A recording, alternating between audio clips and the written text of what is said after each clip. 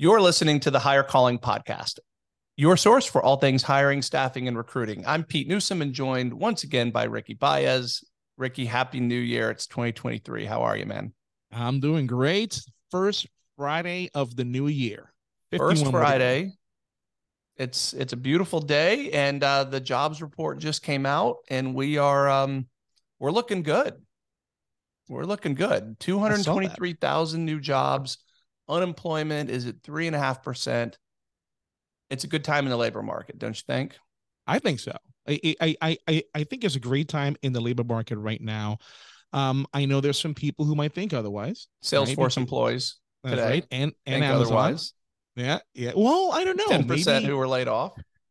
Well, if the job market is as good as what the numbers say it is, they shouldn't have any problem finding something else and still have their severance. So, so that's so that's an interesting question, right? Because um, I guess we're just getting into this today. No, no, uh, no, no fanfare. but the um, you know, all these all these company employees have been laid off from large tech companies. Were probably had it pretty good. You know, well, uh, did you see the um the video that went around of a day in the life of a Twitter employee oh about God, a month yes. ago. Yes. There was a LinkedIn one that went around, and LinkedIn seems to be doing okay. I don't think they've announced any layoffs, but this Twitter employee went through their day and she didn't seem to work at all. All right. And meetings, Starbucks. Yeah, there was meetings at one point. yeah. Right. Who knows what those were about? Maybe, maybe where they were going, you know, um, later on at night. Later on. Yeah. Uh, uh, you know, up on the roof and, and just, it was, it was, it looked like, it looked like a, a spa day. Yeah. And, you know, and I know from my past life that in, in current, you know, today and who we recruit, these folks make a lot of money um, at these tech companies. They're flying pretty high. So, I don't think it's as easy as just finding a new a new opportunity that's um, consistent. There's been some some significant layoffs, so it's a bit of a um, of a contrast, right? You have the jobs reports that keep coming out um, looking great. Mm-hmm. American companies are creating jobs at, at, at, a significant rate, continue to beat expectations. I think something like eight months in a row, maybe yeah. maybe even nine. I think uh, that um, they beat the forecast in terms of new jobs created. Unemployment remains at historical lows. How do you how do you reconcile that? And then yet all these companies are having layoffs, and we know what's going on with inflation. We know that there's some bad signs in the market, but um, to me, it just it does these things don't seem aligned they don't pete and and i think this is the second time we've talked about it because it was it's just a little bit of confusion now i get it. The numbers the uh, the job numbers that came out it is all jobs in the united states whereas what we're seeing right now is ca- the layoffs is kind of like on the tech side the silicon valley side. Um it, it's so i know that's that's a smaller piece of the pie than what the job numbers represent. Um so I guess what I'm what what what I'm saying is I would like to know why those positions are open. Like, I'm sorry, those job creation numbers, where are they coming from? What what part is because somebody left because they went to be a a 1099 employee or they got fired, whatever the case may be. I would like to see how that breaks down but nonetheless, low unemployment numbers is a headache for HR managers. It's great for the economy. And the opposite is also true there, Pete. Uh, obviously, because when unemployment is high, it's an HR manager's dream because you get to fill requisitions quickly, but it's just bad for the economy. So I'm a little bit biased from an HR point of view. yeah, well, it's, it's also, you know, what we've seen, uh, we saw some, uh, what I you know, deemed to be unnatural hiring yeah. um, a year ago it, uh, in, in, really a year to 18 months ago, we were seeing companies paying you know, drastically uh, bigger salaries for recruiters in particular uh, because the demand was so high for for employees. So even though unemployment is low, I don't think the market is is I don't think the demand for employees is anywhere near what it was. And and and I say that because so many corporate recruiters have been laid off. I mean, my LinkedIn timeline is flooded with yeah. with corporate recruiters who've been cut. So I I don't I, I suspect, and we've touched on this already, that the tech companies are number one following t- uh, Twitter's lead. So Elon came through and let uh, cut a bunch of companies, uh, employees, jobs that he deemed unnecessary. he made a big deal about that. It was very public, and I think companies are latching onto that and probably also right sizing a little bit. I mean, I was part of the um, I was in IT in the mid 90s when companies were spending money left and right. It was crazy. And then and then you know kind of the rug was pulled out from under all that when the um you know the uh, the bubble burst. And I I think it's a little bit of that right now. There was a lot of fluff. Yeah. Right? I mean, a lot of fluff in those tech companies. Well, there is and and what what what Elon did, I mean as of right now as of today, this first Friday of 2023, um it's what he did, it's it's proven to be true. The organization, obviously, for years have been have have been running extremely inefficient. Look how many people, how many jobs were were eliminated, and the company's still going. Now, I'm saying that now, not knowing how many employees at Twitter are burnt out right now or are are on the verge of, of burning out. We still don't know what that's going to look like later on. Um, but you're right. It's uh, last year we saw the exact opposite. We saw the offers kind of going more than what we were we were accustomed to to seeing, and you called it on this show, we you and I were having the same conversation last year how the pendulum was going to swing yes. hard the other yeah. way and here it is right now. We're seeing it right now. So um now let's that's see how great, that's far a perfect way to put it. Right. Yeah. The pendulum is is swung back. Um, and what was unnatural ha- has to has to settle. Yep. And it has settled. I feel um it's a I, I saw a post uh, a couple days ago. It was um a I don't know where it came from, but it was a, a, a recruiting opening, and I don't even know if it was a name brand company or or not but the number of applicants was shockingly high. Um, but again, my my timeline now, of course, I live in this world, know a lot of recruiters, uh, so it's no surprise that that I see uh, these folks who are looking. But um, man, there's been a lot of people who who've changed jobs multiple times, yeah. uh, trying to st- remain employed in, in, that world because we just it just it just grew too too too much too soon, right? I think. Yeah, yeah, and, and and but you know, it's uh we'll see. We'll see because I I firmly believe that the people who get laid off who were not expecting to be laid off, maybe this is this was their moment. I will I want to see how many businesses, how many startups come out of this. Because remember, this might be the sign somebody who was working at Salesforce or Amazon needed to actually kick open their idea that they've been sitting on for the past five, ten years. So I, I have seen some situations, some startups that have come up because 10 years ago they, they were laid off because something happened to them when the bubble burst back in the uh, early 2000s. So um, I know it's easy for me to say that as somebody who, quote unquote, has not been affected by that.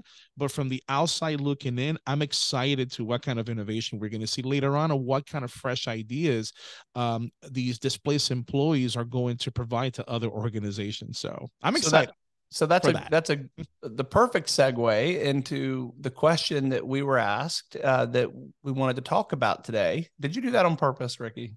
I did not. I did, did not. I'm did just not. going with the flow of conversation there, Pete. Well, very natural of you. Uh, innovation is is absolutely necessary uh, relative to this question that we were asked, mm-hmm. which is um, someone wrote in and said, "I'm worried that Chat GPT."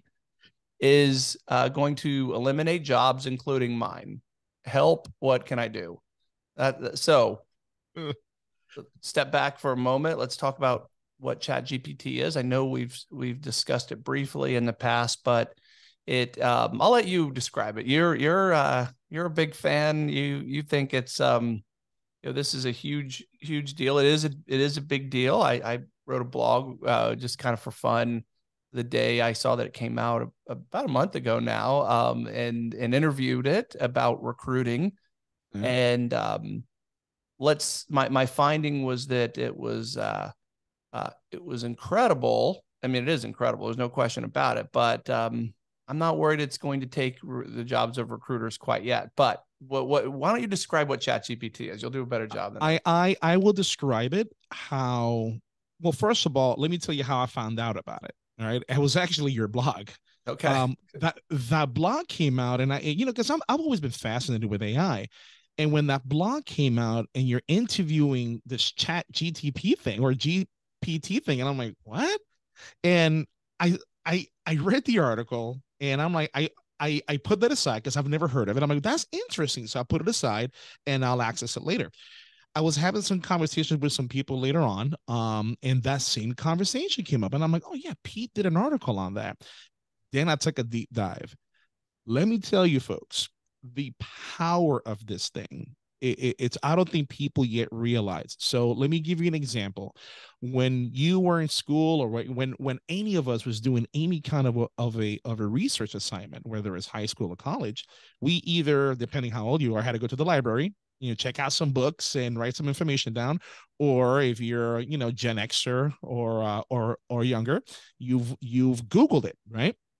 You google some information you grab the information and based on the information you've aggregated from google you create a your own thoughts your own essay based on what you found.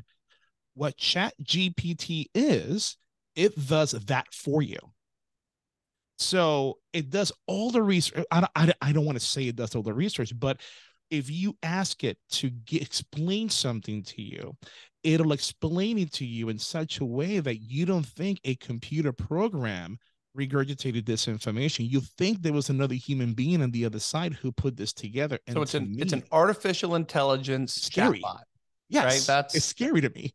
That's what it is, and, yeah. and it's um, it's built on you know uh, what's called large language models and it and it learns as it goes. And it is a it is a big evolutionary step in um in AI is because it it it, it to your point it appears that you're communicating with with a human right? The way it comes across. I mean it's much more advanced than anything i've seen. I, I mean i yeah. don't i think this probably existed in certain areas that you know that just wasn't available to the public to the masses and now it is. It's been and it's being offered for free currently you know, for for anyone who wants to use it. So it uh it it, it it's a big evolutionary step like i yeah. said so what what it what the risk is of course is that you know it's going to replace jobs right? Um, that you know, content writing in particular, is, in content creation, that's an area that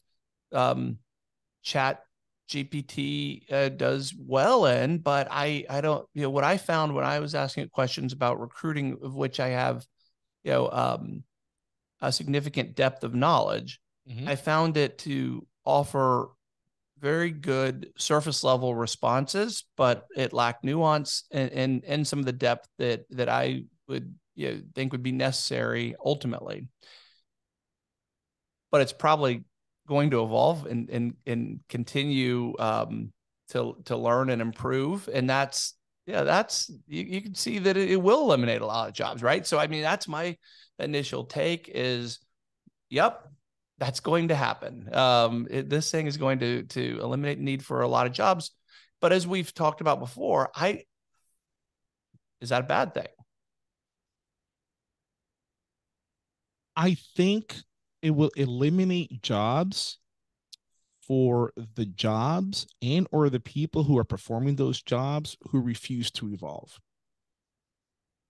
because right now this is the the early stages of this. And yes you are correct. It's it hits on some really good points in the responses but you, it still needs some of that human touch to make it seem a little bit more human right? So you still need to massage it a little bit. But as it learns that that margin of error is going to get smaller and smaller and smaller. So i think what people should be doing right now is the people who who are afraid like the like this uh, person who sent this in that something like this is going to replace them instead of thinking about that because it, that could be a possibility but let's get ahead of it. Let's take a deep dive into what this is how you can become the expert learn as much about this as you can and use it as a tool to provide the services you already do. Don't make it your enemy make it your ally. So learn as much as you can about it instead of being afraid of it. I mean that's my take on it what um, you mentioned before we started recording that you, you were concerned about ethics as it relates to this, right? Yes. So if you're the student who is or or an employee who has to create work right mm-hmm. that you're being paid for and now the work can effectively be created for you um is there an ethical dilemma there uh, or is that is that a um, you know is that a problem if someone wants to uh, to to just type in the you know a sentence or two, have all the work created for them that someone is either grading you to do on your own or or paying you to do on your own. What what's your take on that? So look, are these different? I mean, do you need to separate? well, a they could be the same. They a could be different. So, as a professor, am I worried? From an ethical perspective, I'm on the fence on that because I don't know. I I I can't definitively say where the line is of unethical and ethical behavior right because you know, right now if somebody puts this in you know if if somebody writes an essay assisted totally from chat gpt I again, I don't know how unethical that is because they've put in specific information that they came up with and the machine shot something back out. That to me, that is just that is a lot more advanced and evolved than going on Grammarly. You and I talked about that. Or maybe if I spell something wrong and I look it up in a dictionary before Windows 95 or Windows 90, whatever, and now it tells you. So at what point is the ethical dilemma in the conversation? And I don't know. I'm Well, on the you know, fence on that.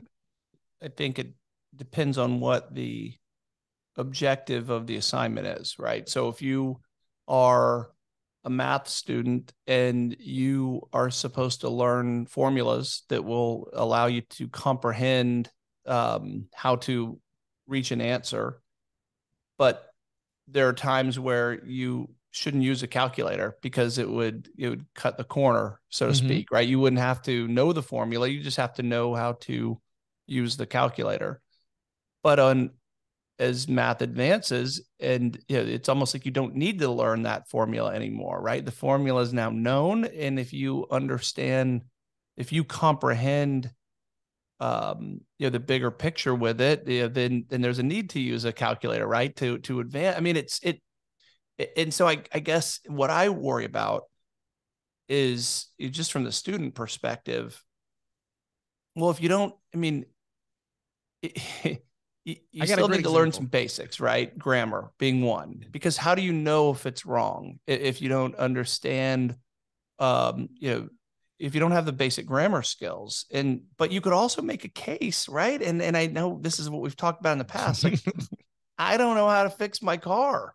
Right? But I don't need to know how to fix. I don't know how to grow my own food. I mean, fundamentally, I, I mean, uh, like theoretically, I do, but Mhm. I, I- I don't actually know how to do it. But I don't. I'm never going to have to.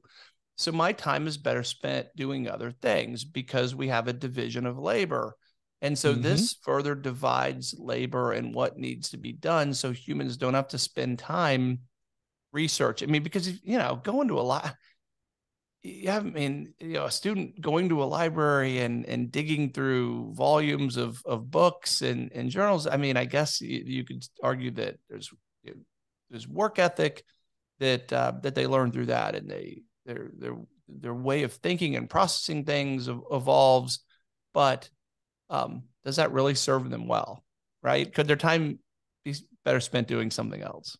So hearing you say that, I mean, it, it's it, I got a great example for you, right? But it, it's let me address what you just said because it, it's this is the part a lot of people are missing. Maybe the ethical dilemma that we're applying, or I'm thinking about applying to this now, is outdated, right? It may have been a dilemma 10, 20 years ago, but not today because the need for me to learn things is not necessary because now i mean i don't have to hike anywhere. I don't have to um, be a long distance runner. I have a car right? So i, I no longer have other than for health reasons right?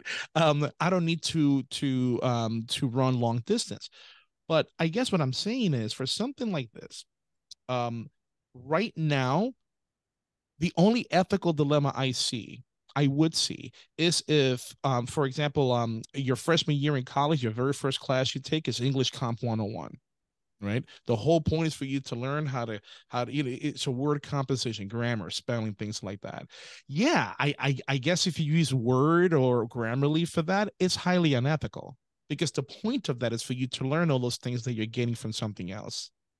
Whereas in your master's class, I'm asking about unions and write a position on unions, your position on it. You have to be able to compose some kind of an argument that's grammatically correct and where you can use word for that or other out, outside things. And it will be an ethical dilemma because i'm not checking you for that. I'm checking you for your comprehension of unions. I hope that makes sense. I don't know if that makes sense or not well it does it, it all depends on what the objective is but you could can you fast forward to a point of in society or human evolution where you say there's no reason to spend time learning proper grammar because computers will do it for you I mean, I, I personally think that we've dumbed down speech, yeah. um, you know, mm-hmm. to to a, a pretty significant degree just in the last you know 20 years, where things are acceptable that that um in in just human interaction and writing and and, and just regular conversation that um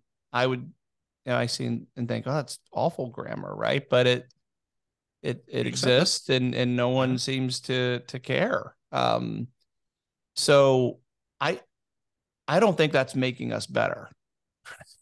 As a society but on the other hand that's a that's a matter of perspective wait, and, wait well, i'm sorry hold on i'm going to put you in the spot all right okay five minutes ago you were saying that if if you don't have to worry about all these things that technology allows you not to worry about, then you could focus on other on other things.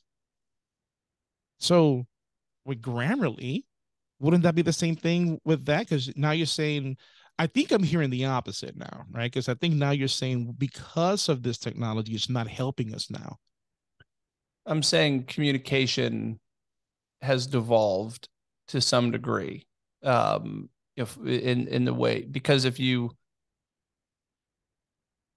if you cut out the it, it, words matter right there's nuance to words and and that's consistent with what i found using the chat gpt um, to to ask about recruiting was that yeah it, it was able to answer um, things at a basic level right? But it really did lack nuance and depth. I, don't know a better way to put it. So if my communication if you if you if you have a bigger um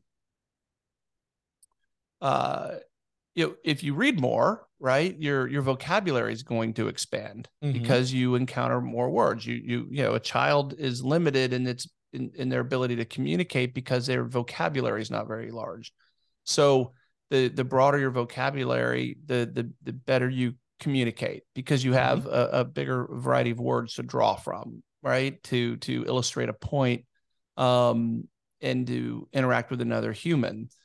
So that's really what I'm, I'm thinking of. If you if you just cut off the need to learn that, and you won't and, and so you start to we start to go backwards, right? Like I, I don't think that makes us better by having less un, you know, understanding of of um of vocabulary and grammar.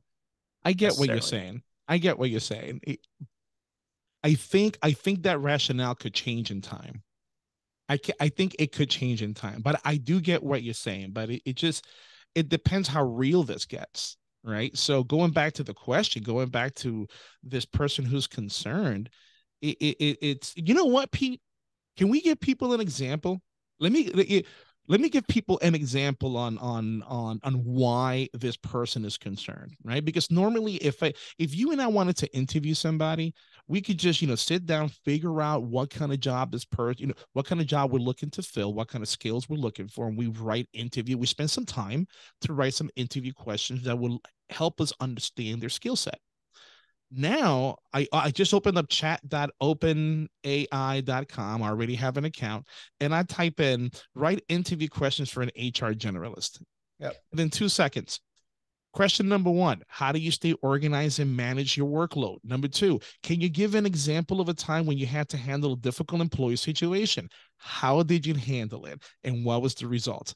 How do you stay up to date on changes in employment laws and HR best practices? Describe a time when you had to deal with a conflict between two employees. How did you resolve it? What was the result? These are good questions you're no, right? Yeah. What's what's interesting though is I have to now call you out a little bit. Yeah. Is that you could type you for the last 20 years, you could have typed that in Google. and and receive the same questions.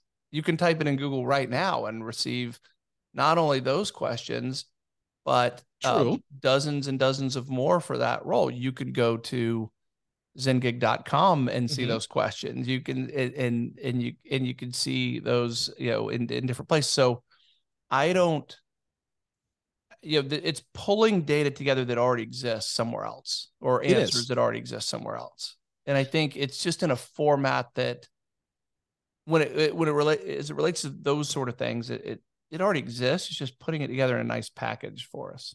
So, so to me, that's that's the evolution. That's the aha. The pulling the data. That's that's been around for decades. It's how the how the data is compiled after it's pulled that's really mind blowing. Now, right? do do the same thing. Type it uh-huh. in and say, ask it in the tone of Dr. Seuss. Why don't you do that? Because see, to me, that's where this thing is is amazing is okay. that it's so not on. just pulling information. It's it has the ability to manipulate, it. not manipulate, maybe manipulate, but massage it. Okay, and, here we go. Write interview questions for an HR generalist in Dr. Seuss. Is it going to work? Is the question if you were a character in a Dr. Seuss book, which one would you be and why? Can you give an example of a time when you had to think left, think right, think low, think high to solve an HR problem? Okay, that's that's how do you say unboring when it comes to employee engagement and retention initiatives? How do you handle trouble in the Truffleville? what was it? Trouble in the what? Sorry this is great. How do you handle quote unquote trouble down in Truffleville, difficult employee situations in a way that is consistent with the values of the company? Oh, so what this is doing, this is interview questions for an HR generalist in a Dr. Seuss themed company. Okay, there you go. Well, do it, do it. I mean, if you did it in, you know, you could do it as limericks, you could do it as rhymes, you could, you know, there's that's what is is crazy about you know, okay. So back back to um yeah you know, back to the jobs, is it going to eliminate jobs? Um, this person who wrote us uh, didn't say what job that they're in, um, but depending on uh, what they do, then the answer may be yes. The, the, the, certain jobs will no longer be necessary; they'll be automated. This has been the way um, of human evolution for since beginning of time, and it's it may be an unsettling thing. Um, it, it may be a scary thing. It may it may be a bad thing for some people, but for society as a whole, um, it's going to change us a, a, a, lot. I think that's what we can agree on uh, for sure. Is it and and those who pay attention, right, can stay can stay on the curve. If you ignore it, then then that's where trouble is is is going to come from. I mean, I I'm you know, paying very close attention to this now, and I and am too. Other am other too. things like it. And and here's and while while I'm hearing you say that, because I'm thinking, all right, we we're we're lobbing easy balls over here. We're not giving this. We're, we're not challenging this. So I'm I'm going to make it a little bit challenging here. So now I typed in, you are a talented people manager and went to Harvard Business School. Coach me on motivating my team to success. Is thinking is thinking. So I did this the other day and it spit out some things. It gave me a little synopsis about what i need to be doing as a leader and and what what ideas how to motivate my team. And i'm thinking man i could see a lot of frontline leaders using this um, on their one-on-ones to kind of help them. So oh it came back. Here we go. All right. So I again I asked it, you are talent, you are a talented people manager and went to Harvard Business School, coached me and motivating my team. Here's the, its response. Sure, here are a few tips on motivating your team to success. Number one, set clear goals. Make sure that your team knows exactly what is expected of them and how their work fits in the bigger picture. Number two, provide regular feedback regular check regularly check in with team members and provide feedback on their performance this can help them understand what they're doing well and what they need to improve and, and it keeps going on and on and on pete i got the perfect perfect example for this chat gpt is the blank for dummies book online. That's it. That's it. go. Well, I think it's more That's than it. that, right? I think Oh, it- it's a simple way to say it, but yeah.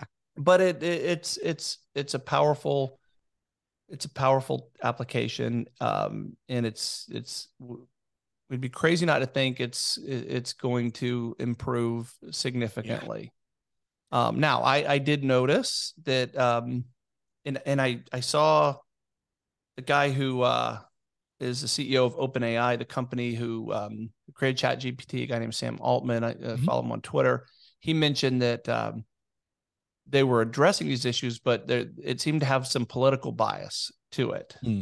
Um, in in in the early, you know, uh, the in- initial uh, version or iteration, it was it was out there, and so there were examples shared where it um it definitely had a political slant to it. eh, the the answers, and so what will be interesting is you know you just take something like that right? And if it if it asks a question about um let's you know something that is politically sensitive or which is everything today right? We know that but but but it was one question in particular that i remember seeing had to do with fossil fuels.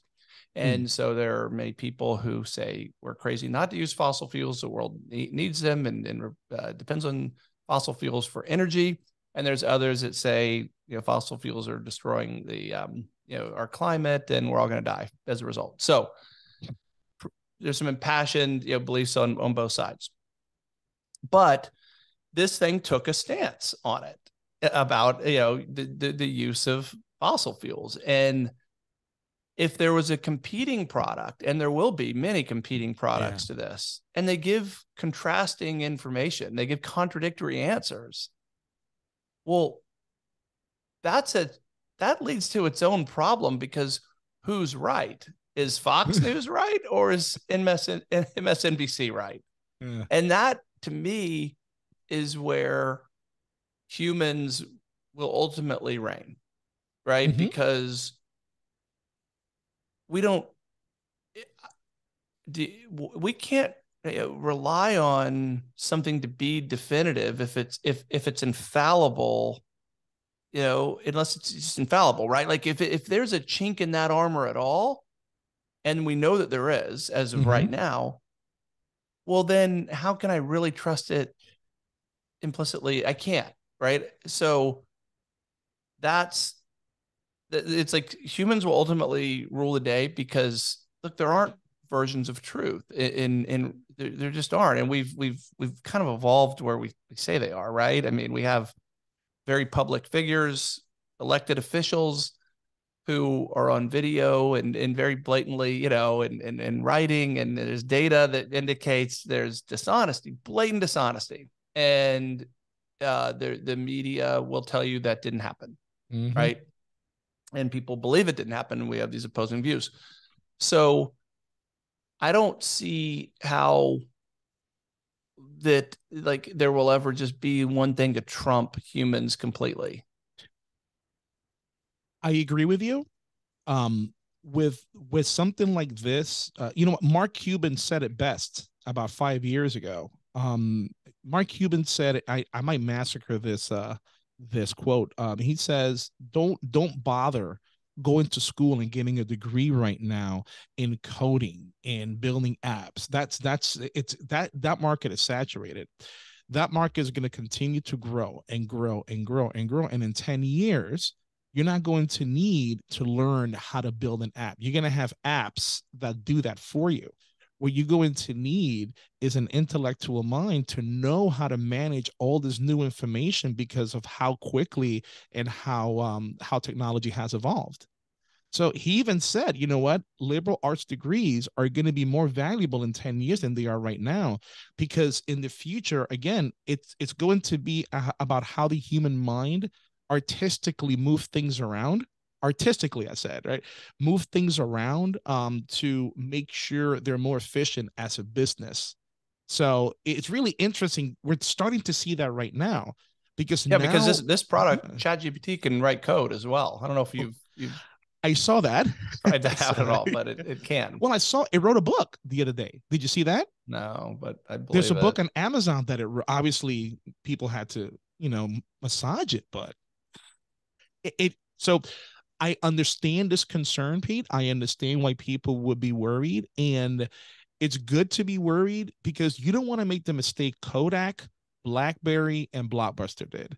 And when new ideas came up, they're like, ha, that's not ever going to happen. And now they were left behind. Jump on that train, learn about it, embrace it. You'll be okay. I think that's a great uh, way to wrap this up because we, um, sorry for the, the for, if we're not offering better news that um, if you're afraid this may take your job, it may, and it will take jobs. Things like this, uh, you know, technology like this will will absolutely take jobs. It, yeah. as it has, and and that's not going to change. Um, so stay on the curve, evolve, and uh, and and and find ways to have it improve your life. Right? Yeah. Don't be afraid of it. Um, find ways to take advantage of it. And and those who do will, I mean, will ultimately be better off for it, right? I mean, um, I, I think that's where we're heading, but it's going to be an interesting road. You know, I, it's like impossible to know this the the rapidity and the uh, the the the adoption that it's going to um that that's ahead of us with these things, but we do know that it's coming and it's uh hell, it's already here. So yeah. Hold on. Write a recipe for healthy tacos. Let me see what it does there. We're gonna end it with this with a healthy taco recipe. You ready, Pete? I am. I bet it. I bet I can guess uh, what it is. Here we go. Okay, go ahead. Try to guess. A lettuce is it, it involve a lettuce wrap because well, one pound of lean, uh, lean ground turkey or chicken, one small onion diced, one small bell pepper diced, also minced clove garlic, one teaspoon of cumin, chili powder, paprika, salt and pepper to taste, eight small corn tortillas, topping of your choice, and detailed instructions on how to cook them. All right, corn tortillas. There we go. It, it, there we go. Wrong. Taco Fridays. Taco so, Fridays. well, happy Friday to you, Ricky. For everyone listening, thanks so much. Uh, we appreciate it. Always love uh, questions. Hire calling at fourcornerresources.com. We'd love to hear from you. And uh, otherwise, drive safe and have a great rest of your day. Have an awesome weekend, folks.